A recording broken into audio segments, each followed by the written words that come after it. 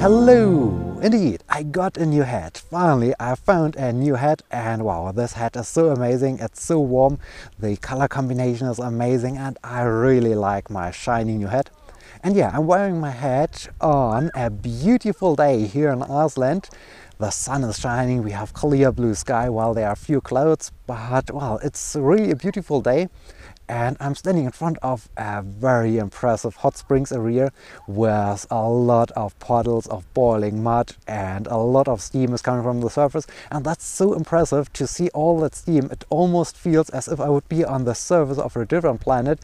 And yeah I'm over the moon. I am so happy to be out here and initially we wanted to drive to a waterfall but due to the high amount of snow the road was impassable and so we had no chance to get there. We had to turn around and now I'm standing here in front of this geothermal active area and I really enjoy it. I really enjoyed to be out here and wow take a look around. That's so fantastic. That's so amazing.